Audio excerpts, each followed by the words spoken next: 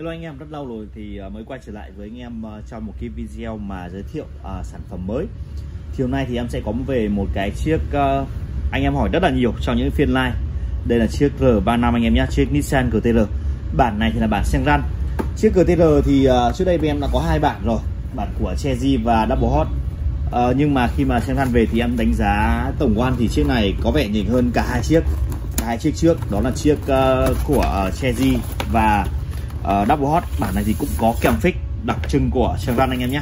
Đó. Một uh, mô hình fix cùng tỷ lệ. Bản này thì hiện tại em đang có hai màu.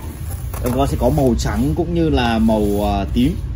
Hai cái màu rất đẹp. Màu tím thì uh, thực ra bản bản bản chất thì màu tím em cũng không thích nhưng mà trên cái màu tím uh, của chiếc uh, R35 thải này thì em thấy khá là ok.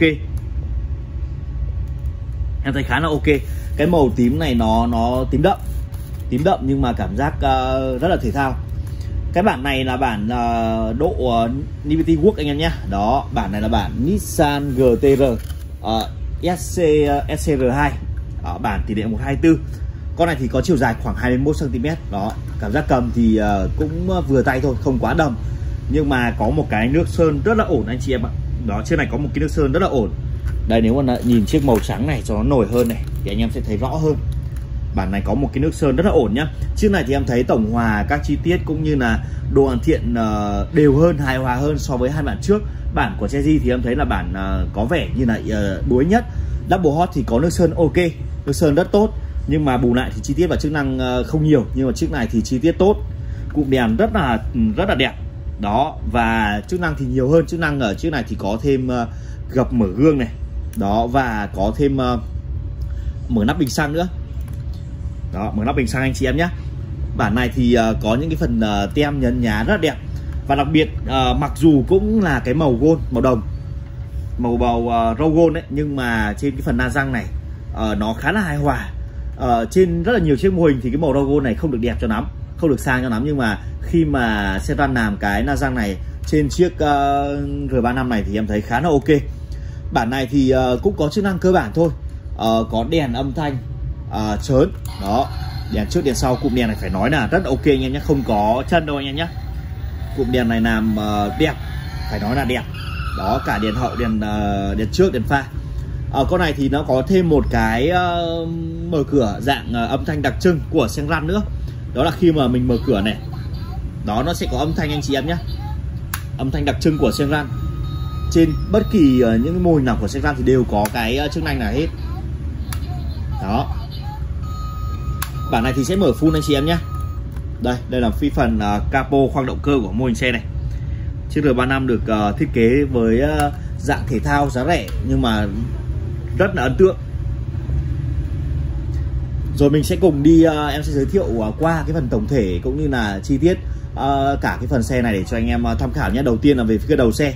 Uh, chiếc R35 này thì sẽ có một cái cản nó sẽ nhô hơn ra làm cho cái thể thao mạnh mẽ hơn. Và đây này sẽ có một cái uh, râu. Nó có một cái ờ, uh, nước gió cản gió nữa anh em nhé đó có một cánh gió ở phần capo này. Đó chắc là tạo khí động học. Dưới này thì một cái cản dưới nằm sát mặt đường luôn. Đó sát sàn luôn. Uh, trên đây thì có chữ uh, này. Đó LB trên này có chữ uh, Liberty Walk này. Đó, đây là phiên bản GTR đó GTR logo này cũng khá là sắc nét. Đó trên đây là chữ Avan dưới đây là những cái phần hốc gió. Trên đây thì à, có chữ R ở phần à, capo này đây là Liberty Work và có những phần lỗ thoát gió ở đây. Ở nóc xe thì là sau nóc xe đen trơn. Về phần thân xe thì vẫn là nổi bật với phần mà mặt uh, na, uh, na răng rất là ấn tượng. Màu uh, vàng gold màu vàng vàng đồng. Đó có những cái phần uh, logo nhấn nhá ở phần đây. Uh, về phần đuôi xe thì có một cái uh, lưới tận à có một cái uh, cánh gió đó bên uh, kính sau thì sẽ có phần uh, sấy kính này. Uh, những cái phần uh, hậu đèn hậu thì uh, tròn đặc trưng của uh, bản uh, GTR rồi. Đó phần ống xả thì là cùng màu. Uh, rất là nhiều anh em khi mà mình lên like thì anh em uh, anh em hy vọng hoặc anh em mong muốn là cái ống xả này sẽ uh, mạ màu chrome hoặc là si thì nổi bật hơn. Cũng có thể đó là cái uh, sở thích cũng yêu cầu của anh em. Đó đây phần uh, phần phần ống xả này có một vài anh em thì yêu cầu như thế. Ý là mong muốn là như thế. Đây có một cái phần độ này độ rất là lớn ở phần này hốc gió đây. Đó bản này thì uh, nội thất cũng uh, tương đối là ok. Đó phần la răng thì vẫn có logo.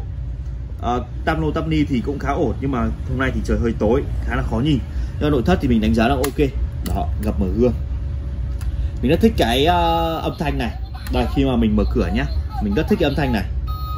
Đó cảm giác cực kỳ sang trọng ở đây giới thiệu qua cho anh em ờ, cái chiếc màu tím một chút. Đó mình sẽ quay một vòng xe nhá. Màu tím đậm.